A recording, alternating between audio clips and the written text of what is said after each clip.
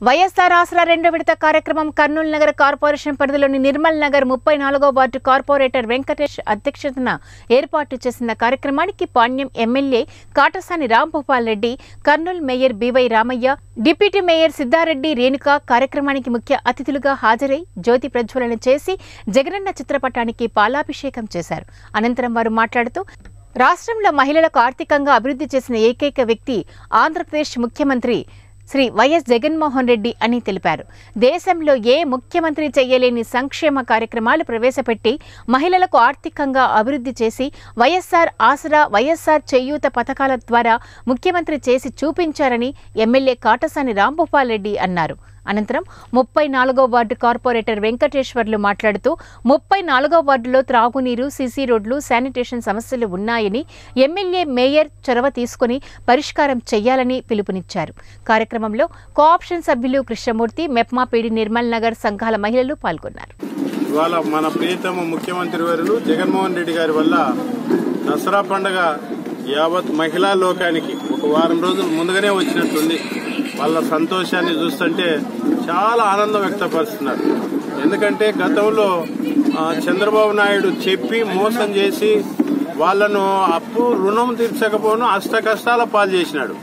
ఇవాళ జగన్మోహన్ రెడ్డి గారు ఎన్ని ఇబ్బందులు వచ్చినా చెప్పిన టయానికి ఖచ్చితంగా ఇవాళ రెండో రెండో విడత ఆసరా స్కీమ్ కింద దరిదాపుగా కర్నూలు కార్పొరేషన్ పరిధిలో రెండో విడత కింద ముప్పై కోట్ల రూపాయలు రుణమాఫీ జరుగుతుంది.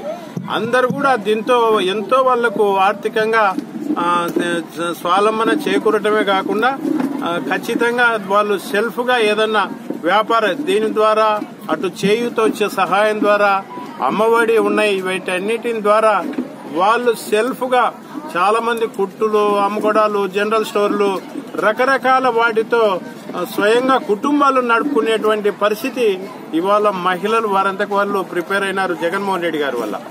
దీనివల్ల చాలా సంతోషం. ఇవాళ ఒక పండుగ వచ్చినా ఇంట్లో ఒక శుభకార్యం జరిగినా జగన్మోహన్ రెడ్డి గారినే ముందుగా తలుచుకునేటువంటి పరిస్థితి ఇవాళ ఉంది. ఆయన ఎప్పుడని రాజశేఖర రెడ్డి గారి టైంలో పావులా వడ్డీ చేస్తే ఇవాళ జగన్మోహన్ రెడ్డి గారు వచ్చిన తర్వాత దాన్ని పూర్తిగా సున్నా వడ్డీ చేయడం కాకుండా వాళ్ళు గతంలో చేసినటువంటి అప్పులను పాదయాత్రలో ఇచ్చినటువంటి మాట ప్రకారం ఖచ్చితంగా రెండు వేల పంతొమ్మిది ఏప్రిల్ నాటికి ఎంత అప్పులున్నాయో ఈ పొదుపు లక్ష్యం ఈ సంఘాల వాళ్ళకందరూ కూడా ఖచ్చితంగా నాలుగు విడతల్లో వాళ్ళ అప్పులంతా తీరుస్తారని చెప్పేసి చెప్పిన మాట ప్రకారం ఇవాళ రెండో విడత నడుస్తుంది.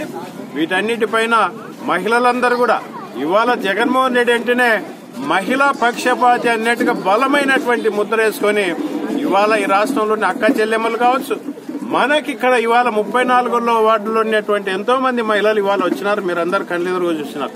అందరు కూడా వాళ్ళ ఉత్సాహాన్ని చూస్తుంటే జగన్మోహన్ రెడ్డి గారు ఈ రాష్ట్రంలో అంటే అడగడుగున అడ్డంకులు సృష్టించే సృష్టించేటువంటి చంద్రబాబు నాయుడు ఇవాళ ఏదన్నా మహిళా లోకానికి మంచి జరుగుతుందంటే ఓర్చుకోలేడు.